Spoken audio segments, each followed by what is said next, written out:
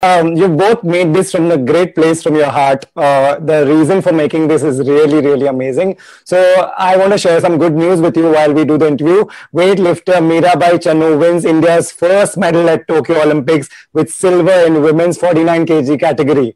So anything you want to tell the tell them and anything you want to tell the viewers? So you want? I think no. I think you know, so and I both were very, very proud to be Indian, and it, it feels so good that we've already gotten a medal.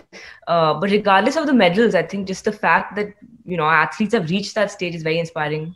Uh, right. And uh, yeah, I just I just saw a tweet uh, saying that I'm going to win a medal. She's like three days back, tweet saying that I will win a medal, and she that's a great quality. Said I will and win something. It's fantastic. Amazing, amazing, and great. Uh, and, and they have your anthem at the back of their mind. You know, whenever they want to listen to it, uh, you'll have done. You know, this is a, this is a great one. Like Rahman sir, you said, um, are we ready to listen to it 100, 200 times? I think we are. So, thank you so much for making this. Thank you for talking to me. Thank you.